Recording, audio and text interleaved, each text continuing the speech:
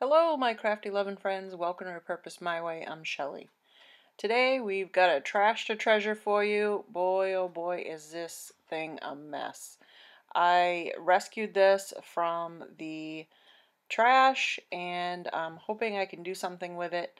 It's got some issues. It's cracked, it's missing a top, it's uh, loose and falling apart. The handle up here is ready to fall off on both sides. So right there I'm showing you we're going to cut that off and do something different. So I'm just going to place it on the table saw. I marked up spot where I wanted to cut it. It's going to be right on the edge because I'm going to put a regular top on it and I just want to have it nice and flat when I put it on there.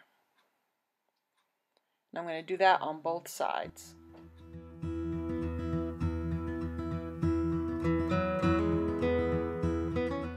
Now I'm going to start the process of cutting some pieces to go in these slats to cover up the apples on the side. I'm going to need to make four of these pieces.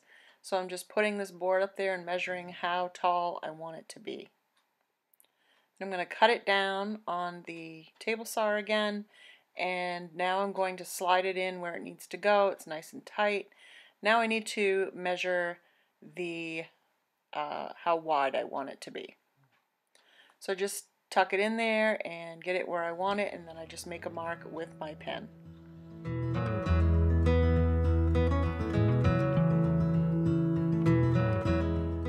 I cut that down and now I'm going to slide that in and make sure that it fits right and I'm going to go ahead and make three more exactly the same. So the sides I need to cover up the, the last pieces were for the inside, now I need to cover up the outside. So I'm going to go ahead and glue down some strips of wood that I cut up. I just took some 1 by 12 inches of pine and ran them down the table saw and made some some little strips here and we're going to get those glued on and cover up those apples.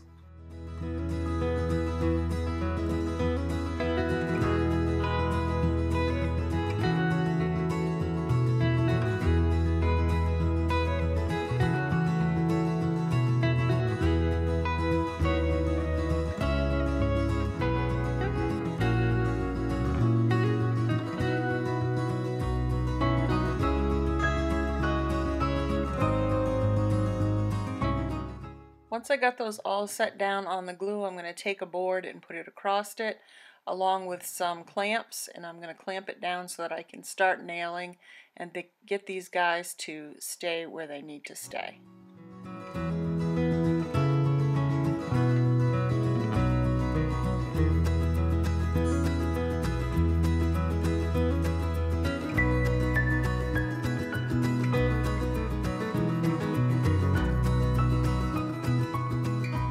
Now that the strips are all glued and nailed on the outside, I flipped it over and started on putting the pieces on the inside to cover up my apples. I'm going to glue that, glue that down and then nail those as well.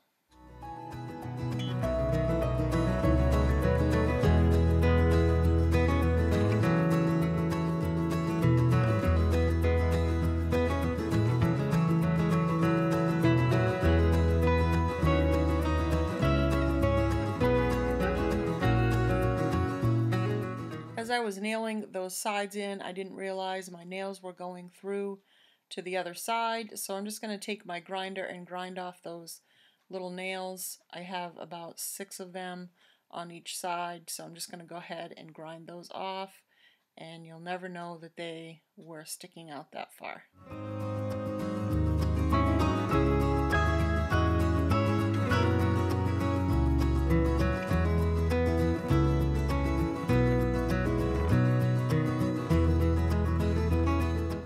Video is part of the What Wood You Make collaboration hosted by uh, at OK at Home DIY and Connie at Connie's Creative Creations. And guest host is me, Shelly from Repurpose My Way. So I'm glad that you could join me in this collaboration.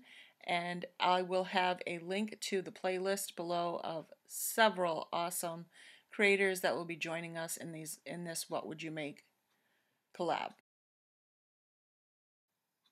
When I cut my strips for the sides, they weren't quite long enough to go all the way down to the bottom, and I didn't want to trim my uh, my stand to make it any shorter. So I decided to take some more uh, strips of wood and just put those on the end. And I'm just going to put them horizontally on the bottom and then the top piece will be a trim piece that will go underneath the lid. I'm realizing as I go to use this table saw that it's getting quite the workout on this project. I have a lot to cut out on this. But I really am determined to make this look good and I really want to bring this back from a trash to a treasure.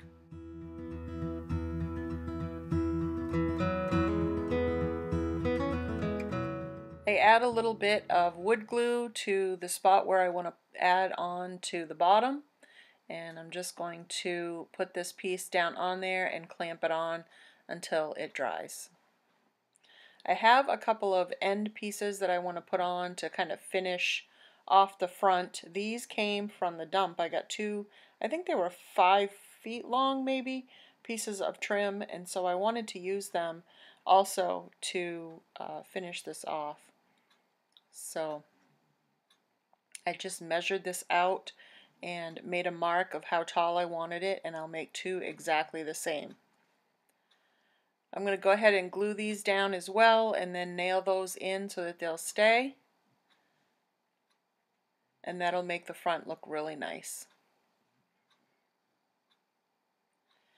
Now I'm going to measure out my strips of wood. I don't have any wood wide enough that will go across the, the front to the back, so I need to cut down some, oh, I think they're three inch strips that I'm going to make and just kind of uh, get this top to be spliced together kind of. So I'm going to cut a bunch of these down with the table saw again and then I will show you how I put it together. It's pretty simple. Once I got it cut down to the size that I wanted for my top, I took a couple of pieces of strips of wood and put those on the back and put a few holes in them so that it wouldn't crack because they're so thin. And then I'm just going to take some wood screws and screw each individual plank that I'm going to use for the top down. I have to be mindful of my edges so that they don't hit on the outside of my stand. Uh, so they're a little bit shorter and go around the inside of my top so that they'll fit on the inside of the stand. Now I'm going to use some heavy grit sandpaper and I'm going to sand down my top and my edges and sides on this top and uh, make it all nice and smooth. Once I get it done with the heavy grit, I'm going to go back in with a light grit sandpaper and sand it down and make it smoother and give it a more polished edge and look. I'm going to go ahead and take some of these trim pieces that I have left and add them to the front shelving part and at the very top so it'll give it a finished look on there as well. I thought it might look okay without it but it really looks very unfinished. So I'm just going to add some glue to this and nail these in as well.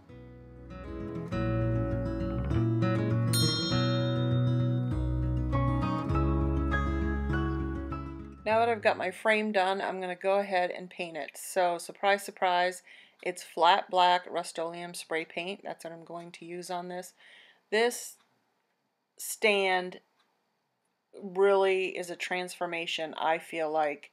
It went from an apple, fallen apple, rotten apple stand to a beautiful primitive stand that is just, I just love it. So I'm so excited to redo this. I'm going to go upstairs and where it's warm and I'm going to stain with some antique wax and water the top. Now that it's all sanded down, it's so nice and smooth and stains up really nicely. So I just use the antique wax and then I dip my brush in the water and water it down a little bit and that just gives it a nice uh, light brown look. The baskets needed a lot of cleaning up. They were really dusty and gross. So I used a Clorox wipe on, on them and wiped them all down and cleaned them up really nicely.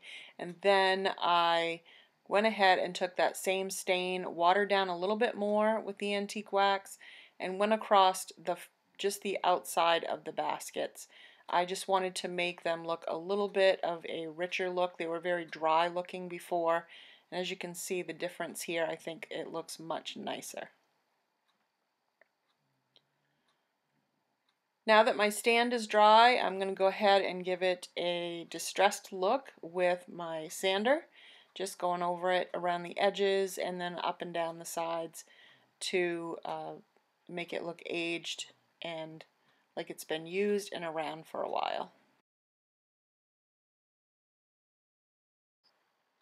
It's time to get my top put on and get that nailed down and see what it's going to look like all together and then I'm going to throw the baskets in it so you can see what that looks like as well. I did spray it down with some flat clear sealer from Rust-Oleum to make it easier to clean.